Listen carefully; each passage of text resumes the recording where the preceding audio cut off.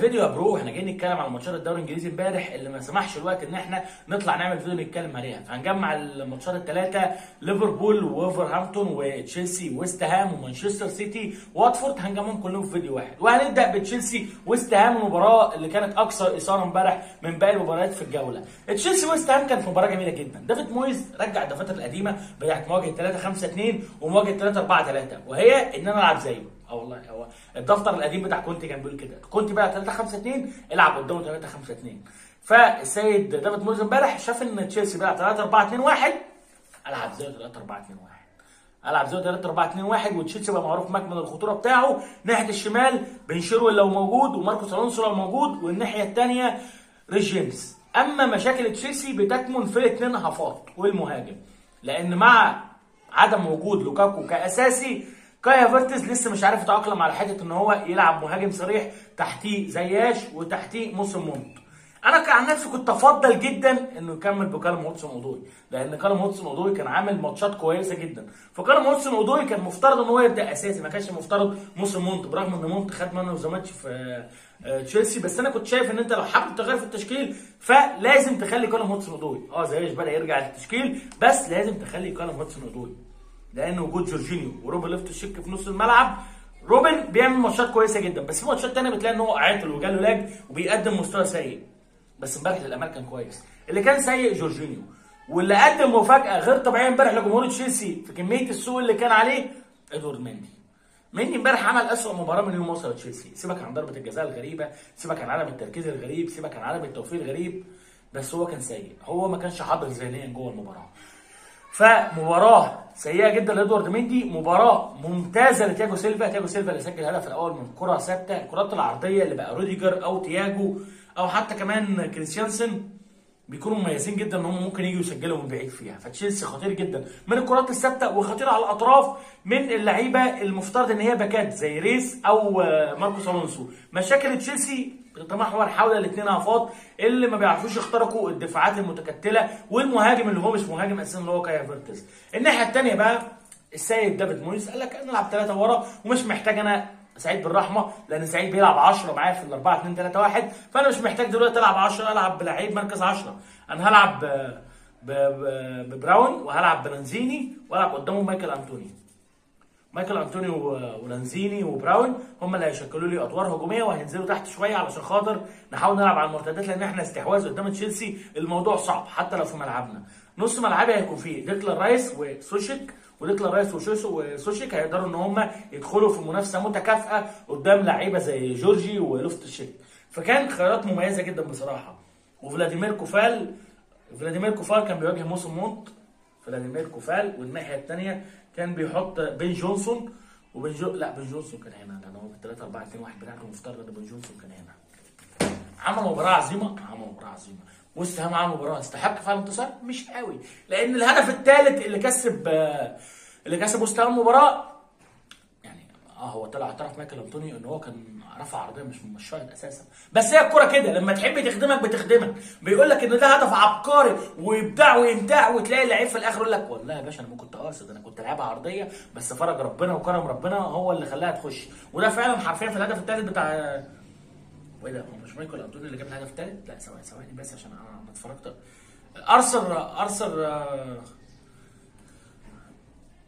أرثر ماسواكو هو اللي جاب الهدف ده أرسل هو اللي قال كده. مش مش ممكن انطونيو آسف. هنتكلم بقى بعد كده على ماتش ليفربول وولفرهامبتون. ليفربول كان حتى بيلعب one side game كده كده تلعب one side game وانت معايا حد يا باشا. وليفربول ما حدش هيقدر يجاريه حاليا بالريتم اللي ليفربول بيلعب بيه.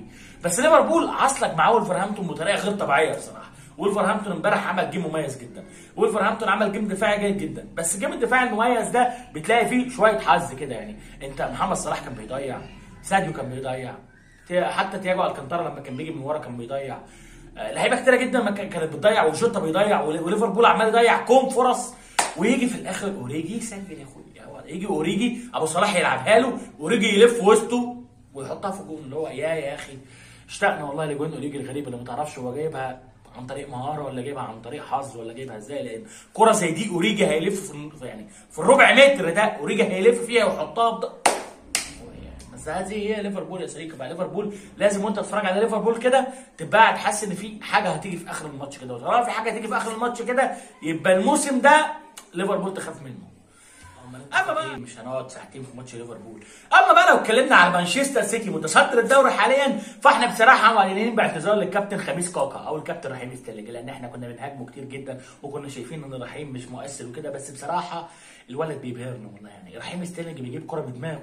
عن طريق عرضين من فيل فودن. لا يا باشا لا دي علامات الساعة اقتربت والله. علامات علامات الساعة اقتربت بجد والله. يا رحيم الجمال والحلاوة دي. استمر. أبوس إيدك استمر. استمر والنبي كده وسجل وعوضنا على إن إحنا ما عندناش مهاجم. استمر يا رحيم يا حبيبي بس معلش يعني هو جاك جريليش كان موجود أساسي ليه؟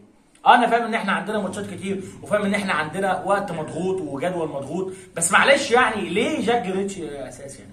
ما ما هي الأكاديمية عندنا ما مش جايبة forward برضه يعني. آه أنا عارف إن إحنا سارقين يعني سارقين ال profile بتاع أكاديمية برشلونة ودليل حتى إن إحنا حتى برشلونة ما بيطلعوش مهاجمين فإحنا كمان ما بنطلعش مهاجمين من تحت اللي هو يعني جاك جريليش لا مهاجم إزاي؟ طيب يعني أنا مش فاهم طيب يعني هو مفترض إن جاك جريليش كان بيلعب طرف طب هو جاك اللي بيلعب طرف شمال ولا فيل فودن اللي بيلعب طرف شمال ولا مين اللي بيلعب طرف يمين؟ مش فاهم يعني المفترض إحنا بنلعب 4 3 3 بس ما أعتقدش إنك سايب الناحية اليمين كلها لكايل ووكر وبرناردو سيلفا. آه برناردو امبارح كان خرافي وبرناردو امبارح كان أسطوري وبرناردو امبارح جاب جونين عالميين جدا. يعني الجون الثاني مهارة غير طبيعية برناردو سيلفا إن هو غفل الجون وغفل الناس كلها وحطها في الجون ما لعبهاش عرضية. والله يا عزيزي هذا لو لعب عربي كان زماننا عدينا الفلنكات بيه. بس هذا برناردو سيلفا. لا يعني ما ينفعش إن أنت تقول برناردو عمل حاجة عظمة. ما ينفعش إنك تقول برناردو الجون الثالث اللي هو سجله أو الجون الثالث لمانشستر سيتي والهدف الثاني ليه كان هدف عظمة. برناردو حرفيا حاططها بإيده. برناردو واخد الكورة وحاططها في الثمانينات اللي هو إيه يا معلم العظمة والجمال والإمتاع ده. مباراة لم ينقصها أي شيء. هتقول إيه ده؟ ورياض لا ما أنا عمال أقول لك الجدول بتاعنا مضغوط بقى يعني رياض طبيعي إن إحنا هنريح شوية. يعني الواد كيفن دي لسه ما رجعش من كورونا. فرياض هننزله دلوقتي ونضيعه بدنيا. ليه؟ إحنا ندي لرياض محرز الشوط الثاني لأن كده كده الواد جاك لسه راجع من إصابة فهنرميه على الدكة وننزل رياض. والحمد لله رب العالمين عديت عديت بجد والله. آه لازم نلبس الجون. يعني الجون بتاع بتاع العواد الأخيرة ده لازم لازم نلبسه. لازم نلبسه. بيعجبني استمرار زياش في تشيلسي أساسي. بيعجبني طبعا. استمرار محمد صلاح في تقديم الأدوار الإيجابية ليه مع ليفربول سواء سجل أو عمل عرضيات أو عمل assistات آسف وبيعجبني طبعا مشاركات رياض وبيعجبني كل حاجة بتحصل في سيتي لأن أنا عزيزي مشجع مانشستر سيتي. فأي شيء سيحدث في سيتي الحمد لله رب العالمين سيرضيني. ده أنا بدأت أعتذر لرحيم ستيرلينج بس يا رب يكمل يا رب وما يطلعش إن هو بس عايز يروح برشلونة فبيدينا شهر حلو وبعد كده هيرجع تاني يمثل لنا بخميس كاكا والحاجات اللي كان بيعملها قبل كده. الحمد لله رب العالمين. عدت على خير وعديت وإن أعجبك هذا الفيديو اعمل like أو subscribe. وإن لم يعجبك فتذكر إنك تشاهد رحيم ستيرلينج 90 دقيقة ولا تكل ولا تمل. فلن تأتي على الخمس دقائق بتاع أخيك وهيبقى عليهم مشاكل طول الأرض.